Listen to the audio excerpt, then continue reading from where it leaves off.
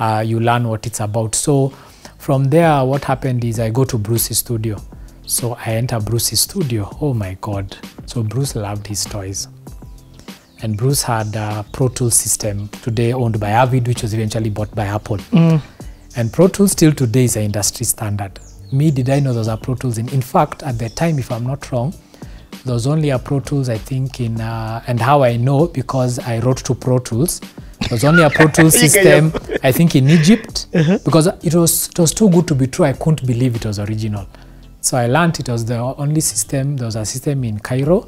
Bruce Odiambo was on the website. And like uh, now a few studios in South Africa. No Even way. West Africa at the time were not listed on the Pro Tools website. So I was there, like, because those days, Pro Tools I think was like 10M. Software. Okay. Bruce had it. I told him, now me, eh? I'm not going uh, anywhere. Uh, I just told him, uh, look. So uh, what? uh, Hold on. What were they using at next level? There's an, I cannot even remember that Okay, software, yeah. but yeah, But- City it, it never saw light of day, or maybe morphed into something else. Yeah. So Uh, but those days there were hundreds of Or smaller um, things. You know eh? those small ones, and Yeah. eventually mm. one or two. Oh, but for sequencing, there's something called eMagic. Mm. eMagic is what became Logic. Logic was also bought by Apple. Yeah. Which like, yeah, so it's weird. That who knew Steve Jobs uh, was yeah. So those days, even things like Adobe was not there. in fact, when I joined the music industry, Yeah. you and another guy called Bosire were the Logic guys. Yeah. If you have a problem with Logic, call. and call I taught Julian. Bosire. you taught FYI, Bosire. I Bosire, yeah, yeah, because I'm there. And do you know how I learned Logic? Yeah. I just read the freaking manual. it was 800 pages. Dude, yes, but I just started. Everyone else, musicians, would say, "How do you record?" That's it. Yeah. Me, I learned what MIDI was, how MIDI works, I understand how the structure is, understand how the coding was done. So people would struggle and uh, they would uh, uninstall and reinstall. You, know, reset. Maybe show guys what to do. And what I always had is, and throughout my career, many doors opened because I was the only guy who knew. I Yeah. would get a job because I can do it. So when I went to Bruce, um, I told him me I want to learn Pro Tools because I know the way the world is going. I think this thing is the way I'm. Everything I'm reading, everyone is talking about. It's being used in film, TV, what. So he told me, so what can you do? I told him, me no Logic. I know a bit of music programming. He told me, okay, you come. So I sat down. You're uh, still in your teens. Now I'm 20 now. Oh, now you're 20. Now I'm 20 now. Okay. Yeah, uh, I'm about 20 now. and so, this is what year? Uh, year 2000. Okay. Year 2000. So I tell him, um, what I'm going to do is this: you don't have to pay me. I'm good. Fortunately, I didn't live very far. I used to walk. It was like a 30 minute walk, but I could walk to. So uh, this is at current Prestige Plaza. Yes, at Prestige. Uh, yeah, there were some uh, townhouses there. So Bruce had taken up a townhouse and built a studio there. And then Bruce was flamboyant. So it was the first time I saw now the bad boy thing coming. Kajua, so this is a PDD. I need to I need to know because he had the Puff now. cars. he lived the life. Eh? Uh, then his studio was epic. Uh, I mean the detailing. He had the best of everything. So who If was the producer there at the time? It was just Bruce. There was no one else. There was no one else. Whoa, you guys used were to do 001. everything. Mm. I don't know if there were others before me. Yeah. But as far as I'm concerned, when I joined, there was no one. It was just him. Okay. Um, but he had a partner called uh, Freddy, Freddy uh, Gitahi. Uh, but Freddy was more of a, he was a producer, but he was doing his own projects. And he was a business partner. He was more of an owner. So the two of them are my bosses. Okay. But Bruce was really the operational guy. So, by FYI, I've never heard of Bruce in my life. Eh? I don't know anything about him. Don't know anything about Safari Sound. I know nothing about Bruce. The only memory I know, I've seen him with Guido. Having Yeah. a drink, Go- going, going- for, going- going for Mira. Going for Mira. That's it. So he takes me to his studio. First studio entered with dual monitors. I mean, you have to understand, Bruce was extra. Eh? He had a microphone, a very rare microphone, the only one in Kenya. That microphone was worth a million at the time, ten thousand dollars or so. German. This it was even more superior. It was called a Sound Deluxe. I don't even know if the company is still there, and it was gold plated. The, the, I mean that mic, eh, you'd be here, someone is there, you just say, "What's up?" You can hear. so it was the first time I saw all this high grade uh, tech and stuff. So he tells me, you know Logic? I tell him I know Logic. So he opens for me Logic, show me what you can do. Before I start, I reconfigure. Tell him you're wasting your logic. Let me show you. I start doing for him things. He was there like, eh? I told him, yeah, you don't need to do this. Do you know you can record vocals? Do you know you can record Nini? In a week, he tells me, yo, I want to hire you. What? I'm saying, really? He said, yeah, and I'll pay you. What? Me? And i never been paid. So that was my first job. So I'm being paid uh, 5,000 bob. Now, like, just put into perspective, my monthly budget at the time, because I was still living at home, I don't think I needed more than 300 shillings. uh, 300 could do, I mean, just to put in context, uh, Chips quarter was maybe 90 bob, 95. So just maybe you can extrapolate eh, today's rate, but that was a lot of money. A lot of money. 5 Gs. And then I'm in a playhouse. Now that's where now I really, really experiment. Now because Bruce was quite the hustler and all over the place, when he's not around, nani mimi start sequencing, doing. So now I was born twice now. Uh, Timo is at Samawati. He's got a job there. He had the musical skill, so he mm -hmm. got a job quickly. Uh, so we are doing a similar role, basically the resident um, producer engineer. So he's at Samawati, I'm at Johari. So you can imagine what's happening to our to both of us. It's insane. We are learning the chops. We comparing notes, share, hang, hanging out all the time. Weekend we meet. So even now, what we are doing in church is not child's play anymore. Now we are doing, I would say, we are doing serious work, and we are really exploring what to do. So There I tell no him, studio in Eastern Africa, Yeah. which was like the studio that you're in. I was in the best studio in East Africa, and then uh, at the time, the only place there was some action. Lucas is starting to explore. So Ted Josiah is on uh, Audio Vault has taken off. Mm-hmm. Um, it's doing some crazy stuff. Then you have um, Lucas is starting now. I think Fruity Loops is emerging. Mm-hmm. So you're starting to hear something. Um, and then there's Keishaka happening on one end, but the big the big bands were now the Zanaziki Masimaira. Those are the people pretty much running, and the live band scene was still huge. Then there was one terrorist called P Funk. Mm. P Funk What he said. in Tanzania is making beats we are hearing. It's hip hop, it's high quality, but it's also African. Mm. And we are seeing what is? Juma Nature, Professor J, and we are saying, oh my God, what is this sound? So now Kenya has uh, Ted Josiah. They have their P Funk, but Tanzanians, like the way Diamond is now, at least like 20 tracks a week. Mm -hmm. So it's just abnormal. Mm -hmm. We can't even keep up. Bruce had no interest in music. So the main thing we used to do there is jingles, commercial work. That's why I reinforced my business acumen. Mm -hmm. Bruce was so strict, you'd say, if there's no client in the office, switch off the equipment. And you'd say, every knob has a lifespan. He'd tell you, like, this mixer, this fader has 10,000 fades. So every time you move that fade up, money better be coming in because it's depreciating. Yeah. So you'd even say, I'd rather you sit and watch TV and play video games than run the studio because when you're burning the gear, Yeah. um, and no one is paying, that's that was Bruce's mentality. And I started learning how to build. I started learning how to create things. Um, so Bruce gave me a very serious. I saw him negotiate, and so and here's the thing: Bruce was a weird guy. He would pick the guitar, he would play, and I'm saying, Bruce, you play guitar? Yeah. Then he chills. He takes the bass. He plays the bass. He because he played like seven instruments, but he was never playing music. Bruce was always on calls, talking to ad agencies, negotiating, fighting over payment. And I, to, I didn't think he was a musician. I didn't even know his heritage and history as an artist. You see now. Um, so. Bruce was Again, you're in the room of greatness. Yeah, so Bruce is a cold, cold-hearted business person, and um, so now I start learning the concept of telling a story in 30 seconds, uh, writing a song in 30 seconds. So now I'm learning how to do this, Mm. and then you're doing for Coke, you're doing for serious brands, Tasker. So you're in the room, marketing manager comes in. Um, and, And you you can the- see you're the you're the engineer and you're nervous and you're wondering, yeah.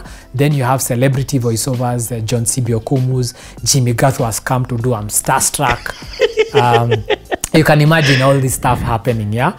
Um, and then Bruce's house, he just hosted people. So artists used to come out, hang out on the weekends. So they're just celebrities. Um, I remember I did a track with Red Sun. I did a song with Amani. I did a song with Nameless. All these guys. So all this time, we used to call them Mojambili. Eh? And the reason we call them Mojambili, because all those days when a song starts, Mojambili, like check mic. So that's all. That was the generic term.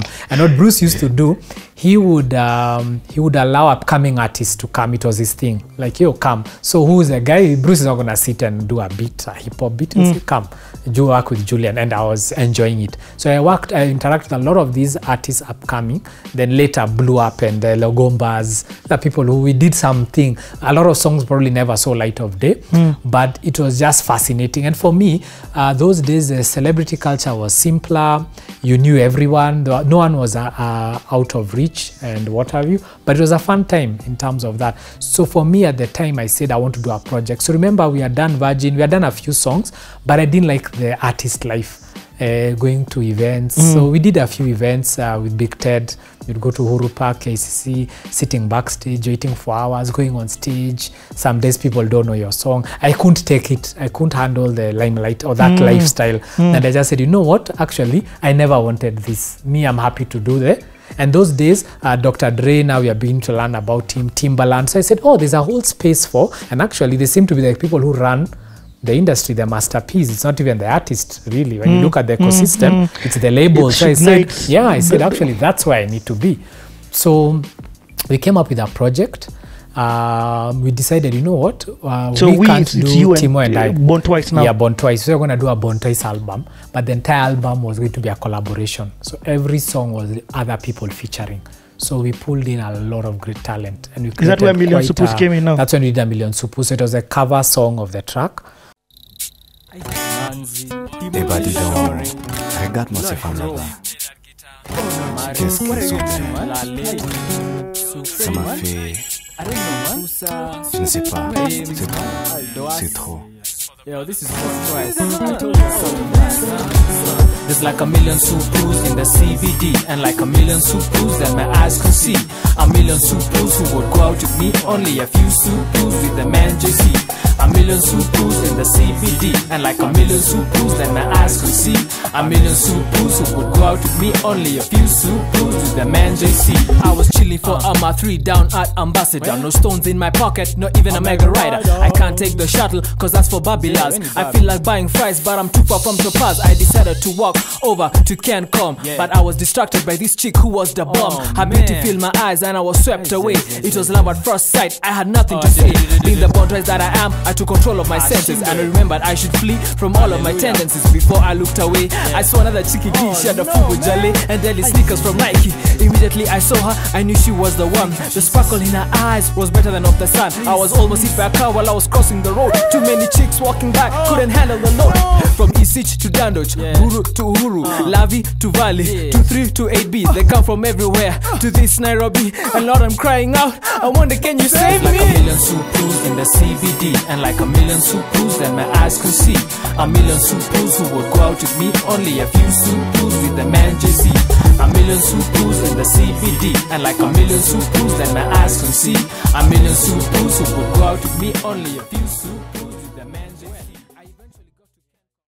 um, then we did a song with Valar Kimani. Uh, this is way before Project Fame. I'm mm. talking 10 years mm. pre-Project Because she was in your church. Um, yes, she was in our, she was in our church.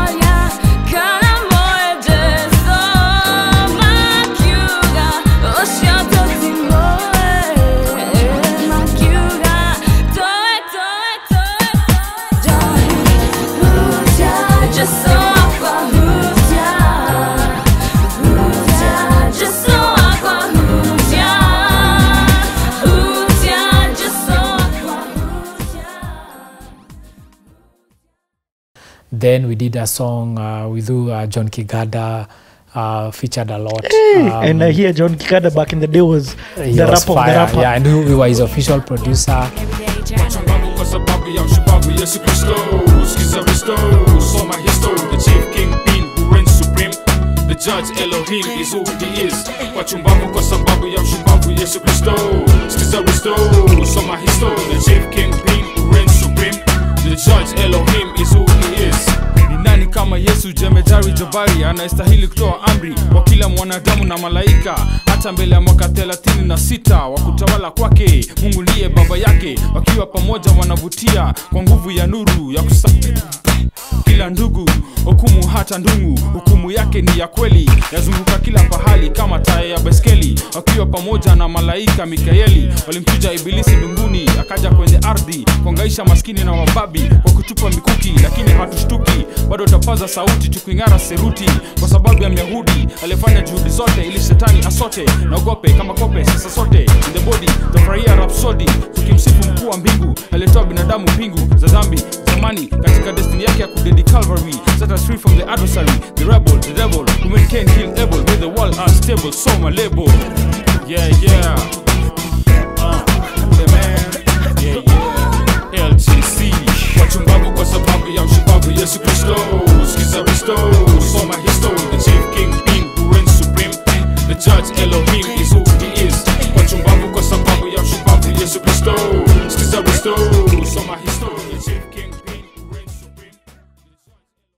um, at this time I start bumping into people like Steve Ominde. Mm. Um, so now you know you're now you're starting your hobnobbing. Now we are in the elite because we are like ten producers in Nairobi. Yep. Pretty much. So that's pretty, Akina Lucas um, are known. Kalifata Nonini, that sound not yet. I remember going to visit Clemo once and I'm checking students saying, man, you need to when you're when you're ready, come over. Uh, you know now we, we, we eat our words. Eh? Uh, I remember him being in the studio with Juakali, recording in their living room with a keyboard and headphones and telling us shh. and as there I didn't know what I didn't know what Nonini I who knew what was coming up then. But it was interesting. Lucas coming over to ask me how do you do this? How did you do that? No and way. I'm telling you yeah yeah. But see me I'd already gone the commercial route. Yes. so me because those days a track was what 5000 bob it was not worth it. Maximum 10000 then you do a track for a month. So it was not a business. But let me say, Yeah. let me let me let me say the first time I ever met you. So the first time I ever met you was I think mid 2000, okay and the reason is because we had started a group called Extra Fat. Yes Now Extra Fat, see us guys, we are us guys now want to also be in this music industry thing. So it was me and three other guys. Yeah. A guy called Mikey. Me, I was a technical engineer. I was like you. I see I was not the rapper. and Kembi was there yes, Gitura Kembi and we're in the same church that's why he came In fact, that's how we learned. That's even why we bought a PSR 530 because we saw it. That's how. That's how the first. That's now the Gitura would play the PSR 530. no way I would now be the guy who's doing the engineering, connecting it to a th- thing, a tape. So we made and Prezo, with kind of guys would come and rap and things like this. So we made so many songs. CMB more one and only. Yes. So we made Wow. so many songs. Mikey now was our business guy. He said, guys, we need to figure out if we can make this thing work. Hmm. Get 15,000, we're going to go and record. But me, I went to Huko Rave. So they came and recorded a song with you, No way. I remember. Extra Fat. Yeah. So me, I came that day to pick it up. That's how I met you. I came with Mikey to pick up the song. In fact, this is the song. Hey, Earthlings, we are now taking over your radio.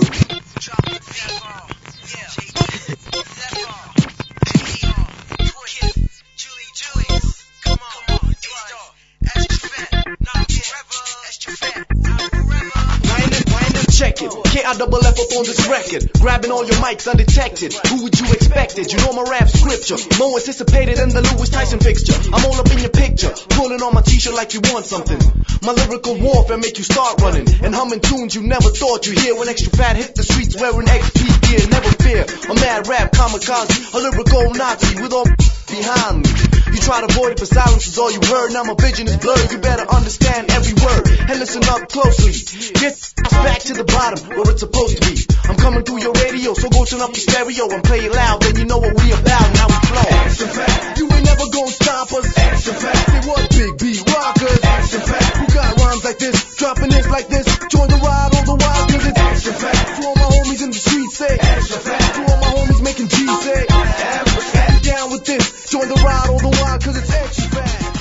Jammy record label, let it turn it out. Let it leak out.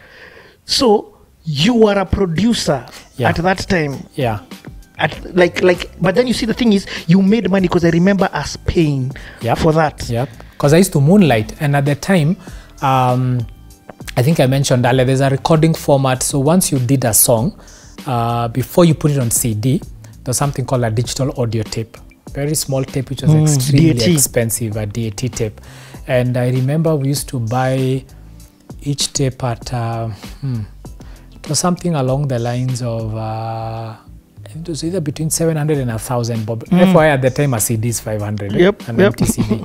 So I remember I used to buy about 700. So basically, a pack of 10 was anywhere between 7 to 9,000. It was a very expensive commodity. Then you could only use it 10, 20 times. But it was the highest fidelity that was in the market at the time. There was a technology called ADAT, then they created DAT, which was smaller. Digital audio tape. Yeah. Now, Peter Oye, uh, Michael and uh, Paul Oye's brother, and Peter Oye eventually was at Radio Africa. So he was working at the time at KQ. He was in uh, he was in cabin. So remember, I know the stuff because all my material was coming from England, all my magazines. So one day I'm reading the magazine and then I see a box of DAT tapes in England is like three pounds fifty for a ten pack. So I'm saying no. But here we buy them for 6,000, 7,000. When I'm doing the maths, I'm saying, I, that's like uh, That's like- 70 pounds. That's like my cookies. yeah, that's not Profit. making sense. Yeah. So one day I gather some coins.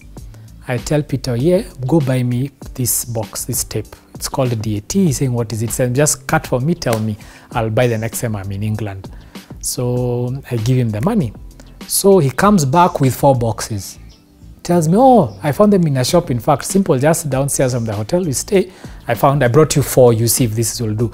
I said, You bought me how many? He said, Four. no, not a lot. Say, How much do you? He said, Ah, I think um, he tells me 2,000, 3,000, something like that.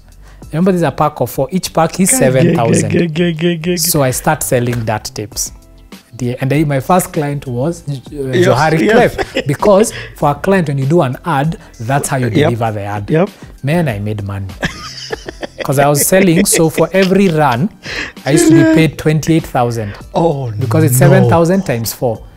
But my purchase price, and Pete never used to charge me for transport because he is my boy. Yeah. So he goes, he brings me four, and then I sell them to Johari Clef. Next time he flies, says, "Do I bring you another one? Yeah, bring me more." oh, Pete, sorry, I've never paid you a commission, but yeah. So I did that business for quite a while, and that's how I started setting up my. So I bought a computer. Oh my God! From Um, the profits from, from the profits from DAT. the DAT tapes, yeah. So I bought a computer. I bought. Um, I set up a home studio. So remember, I had the keyboard from the first Yeah. job. So I had the keyboard, and I bought a computer. I bought an, a sound card because I knew what I needed. So I would just buy bits and bobs, bits and bobs, and then I set up a studio. So, like I think extra fat, I made the beat at home. I don't think I'd made it at the studio. Yes. Uh, but uh, long and short, the Born Toy. So we did that project, the album, and uh, it was sonically, it was quite um, it was quite a project. I'll, I'll share it with you, the tracks. And um, so we used to do the beats at night, record at night. So when Bruce is not there or he's traveled, I tell guys, yo, you need to come at 4 p.m. We've sent you the track, we've burnt it on CD, you've listened to it, you come in, lay the vocals quickly, and Out. disappear. So I used to mix it after hours at night. He comes, What are you working on? No, I'm just doing a thing like that. So I produced the entire album free. Incognito. Uh, incognito there. And um, yeah, then I did the track, A Million Suppose. Um, I think I knew DJ Mose. We had just met. I gave him the song and he was just starting out. See, DJ Mose plugged that track. so that's all we did a few gigs. We were never paid for any gig, but it opened us to a whole world of production opportunities. mm. Yeah. And now, now we were kind of uh, known now. Okay, now you're producers. Yeah. So now people now would come calling. I, I remember Ambrose now coming Mandugu Digital that time. They had not even started out coming here. What are you doing? That's when now. So people now started knowing that, hey, okay, there are guys who are doing some cutting edge uh, stuff. And um, at this Um, time, you're still in the studio alone. yeah, yeah, it's just me There's alone no. now. Yeah. Aaron hasn't joined. Uh, Not yet, not yet. In fact, Aaron came later. Aaron came when I was about to leave. Um, oh yeah, another side story. Another person I had met earlier when I was at next level. Chris Adwa had come mm-hmm. once to do a project. I think for Peter Dera. That's when I met Chris. Then they went and did. Uh, they set up a new studio. So Maurice Oyando and Mary O'Kell of McKinney School set up a studio. You see, like how Riara had a studio? Yes. Same concept. So they created a studio called Red Brick. They did a few interesting projects. Harry Kimani's album was done there. Mm. Um, um, and a couple, I think Kidum started his recording work there. So there was some interesting, it's one of those people, I bump into them and like, oh my God. There's another project, two projects I did at Next Level that were very interesting. There was a guy called Jackie Male who died, a reggae mm, musician. Mm. Um, I did his album. And it's the first time in my life I ever had a rhythm. So I'd never had a rhythm. So he comes to the studio, he says, I want you to make for me a beat. I make for him a nice Karaga beat. Then 20 people come and record on the same song. And I'm telling him, but I have 20 beats. I mean, what's with the dullness? Hapana, hii inaitwa rhythm. So, and until years later, and did did a whole album I of one of my readings. I don't know what ever happened to it. I did a couple, produced Hold a couple on. of songs. That album, yeah. 20 different people came and recorded on the same song. Yeah, you know how reading yes, is. rhythm yeah, It's like so the way yeah. Was on some exactly, and all of them were separate artists. And I, I was not very fond of raga or reggae at the time, but I understood the kapuka sound was hot. Yeah. It was emerging at the time. Um, then there's a guy who came um, who had a disability. Uh, he came, he used to come to the studio all the time. So wanted to see Maurice Oyando, Maurice Oyando. So later on, this becomes Mighty King Mighty Kong. King, I was gonna ask. So Maurice says, oh, he's moved by his story. He feels he has some music he can do. So he tells him, what you'll do will help you, but you'll have to be recording outside business hours. So I produced the entire Mighty King Kong album. So No that's the first song because the Them Love Him Ladies Choice, we did it in like seven minutes. He just came and said Ladies Choice. So me, I was trying to do to get rid of him because I want to do my own stuff. Yeah. Then one day I started getting calls, yo, Ladies Choice is blowing up everywhere. Let me tell you, that album has takes that are not meant to be there.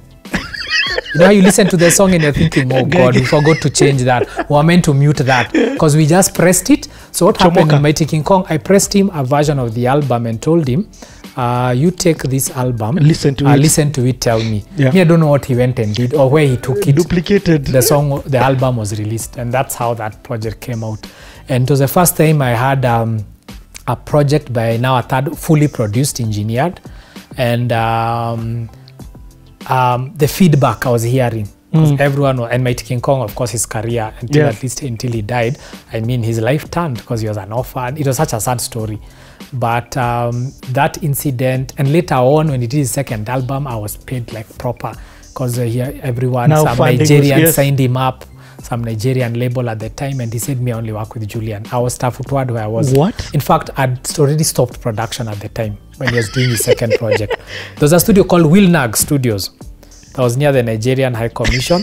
Um, Hey, yeah, an archive of this yeah. industry. So, okay, so let me ask you, what yeah. about uh, Morris's daughter Talia? Because people Oh, yes, know Talia, Talia, yes. as just a single singer who sang on Hamni, Tishi Tishi, Yes. and her single projects. But you, you, you must have seen her from when she was a baby. Yes, so Talia, of course, was always there growing up, um, just a regular kid. But later, at some point when they were in high school, uh, a friend of ours called Alma saw Maurice Ando and Rafael Tuju at the time. Rafael Tuju is at KBC. Mm. He's a broadcaster, he has his own production, Ace Communication. So they work together a lot because he comes to do VOs and stuff like mm. that.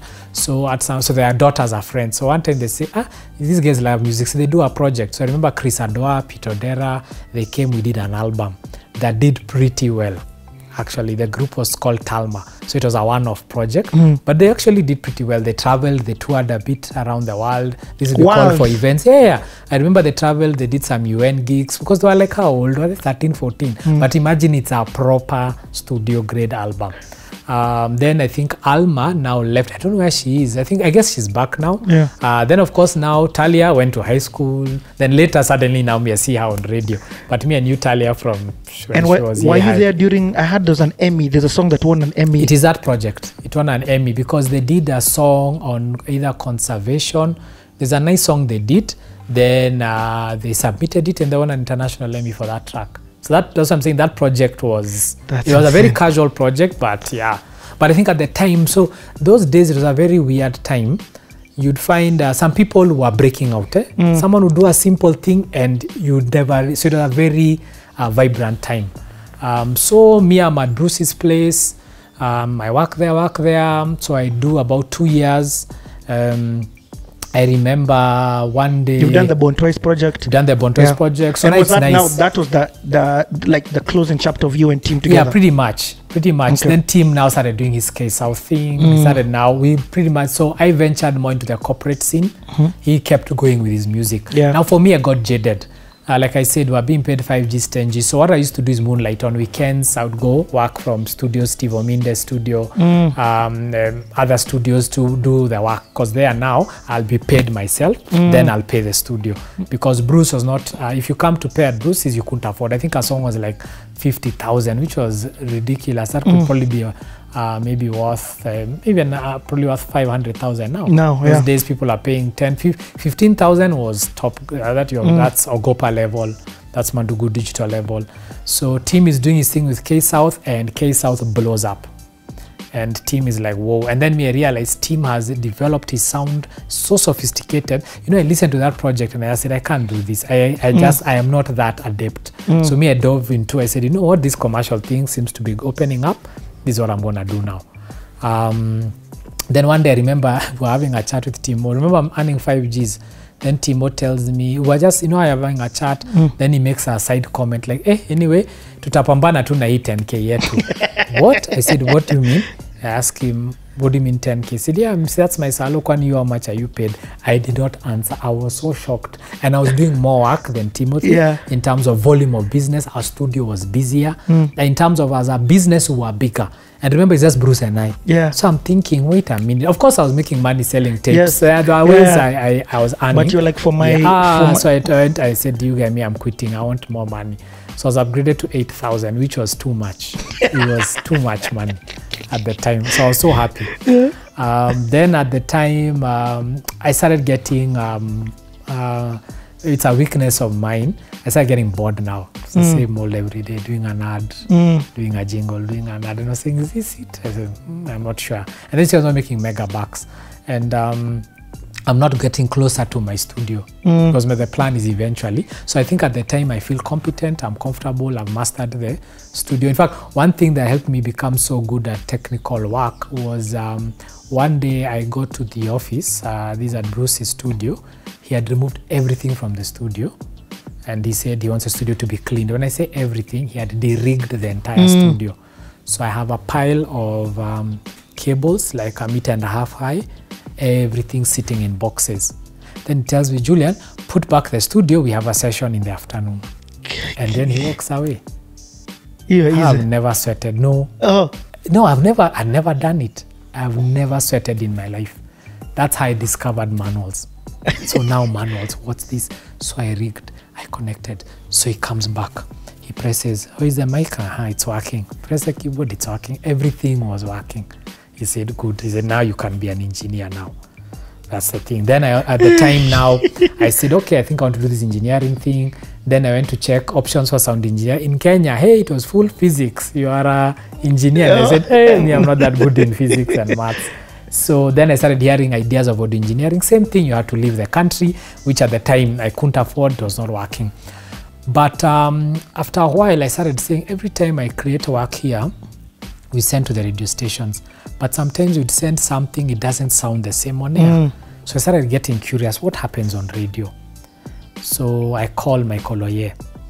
He's at Capital. I tell him, Michael, uh, me, I want to come work at Capital FM.